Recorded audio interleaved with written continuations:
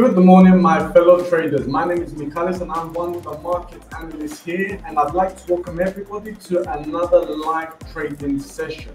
Today, we're going to be looking at gold because there's been a lot of volatility and some changes within the market which has supported the price. And it has, for the very first time this week, increased the price above the trend line, above the price sentiment line, and above the neutral level on the RSI. So of course we need to take now into consideration previous resistance points which we can look at as potential targets now that have seen a lot of momentum and there's aspects of the economy supporting the price of gold. Now, what changes have we seen? We've definitely seen that job vacancies in America have dropped as of yesterday to their lowest point in more than three years, almost three and a half years. It was significantly lower than expected. So we're now in a scenario that if today's economic data from the US and tomorrow's employment data is lower, then we're almost certainly going to see on the table potentially a 50 basis point rate cut. Now that is negative for the US dollar, but it can be significantly positive for gold.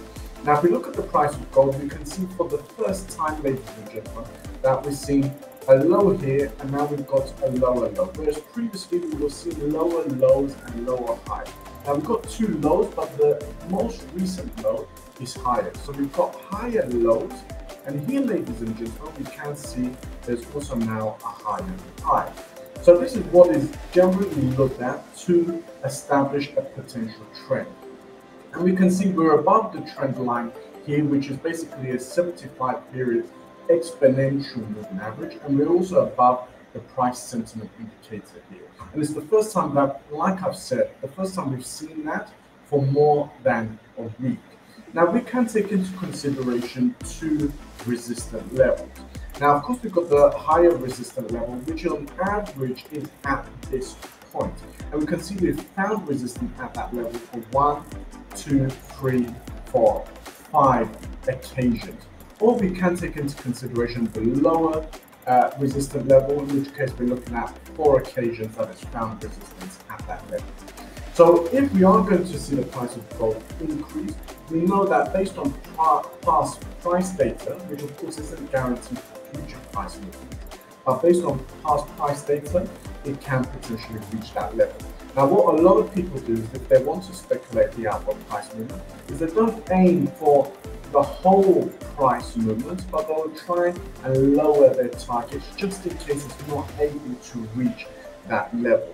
So, for example, between the current price and the most the closest resistance level, we're looking at 0.50. So what individuals potentially may look to do is look at 75% of that and put their target, for example, at the 0.35 level, which case the stop the take profit is slightly lower at this level.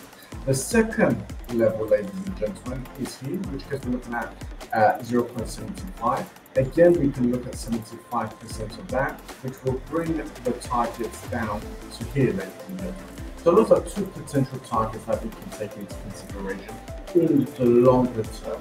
But what about the shorter term? For the shorter term, ladies and gentlemen, we can see that again, we're above the trend line, we're above the price level, and we're the price sentiment level, and we're also above the 50 on the RSI. So between the 50 and 75, which is indicating that buyers are gaining control of the market.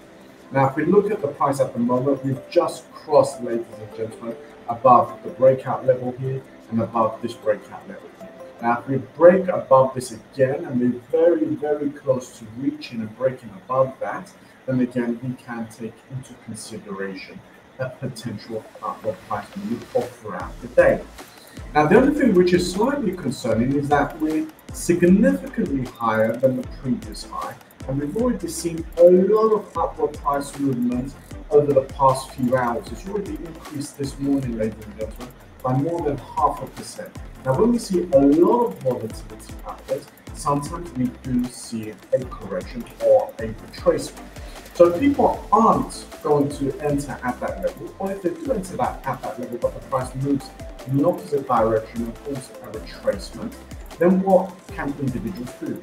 they can look at the high and they can look at the low of the retracement. They can add the Fibonacci levels and also as the price increases above the 65 point on the Fibonacci retracement, which you can see on my screen, if it increases above that, then you can take into consideration either your first buy signal or a secondary buy signal.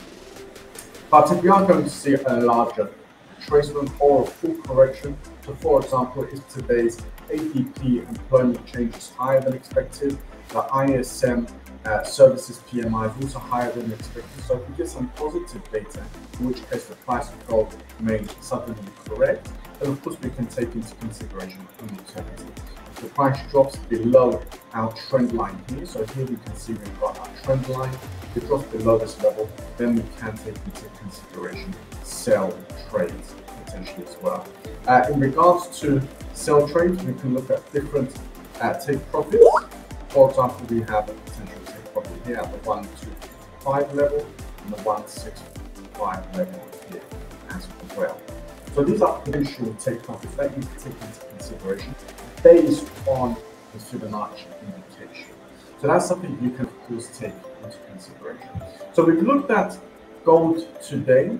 Uh, we've looked at why it's gained momentum. It's gained momentum because of course uh, US job uh, vacancies have significantly declined, the lowest in almost three and a half years.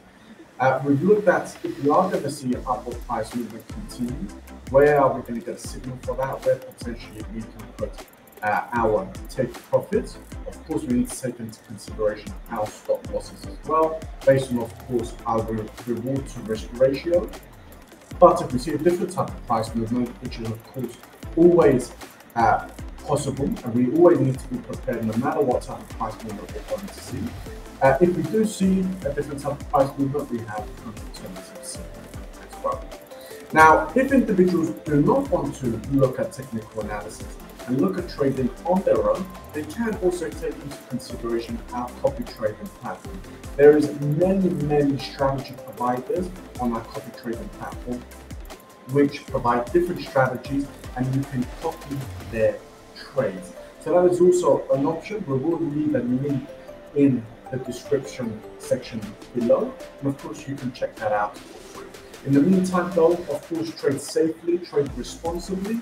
Enjoy the rest of your day, and we'll catch you soon on our next live trading session. In the meantime,